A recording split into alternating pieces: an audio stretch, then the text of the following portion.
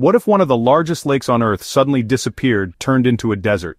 This is not science fiction, it actually happened. If that shocked you already, hit the like button and subscribe to the channel. We bring you stories that uncover the truth behind the planet's greatest mysteries. From the world's fourth largest inland water body to a barren, salt-covered desert, the Aral Sea.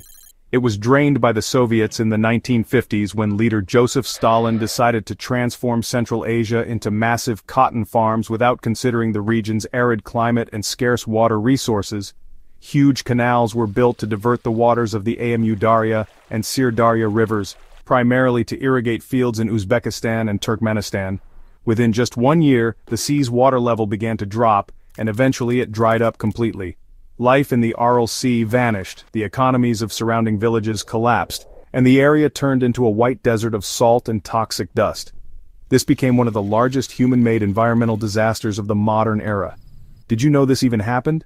Most people have never heard of it, that's why your like and share can make a difference. What was once a massive inland sea is now a toxic wasteland with ghost ships stranded in sand, and children growing up with no memory of water.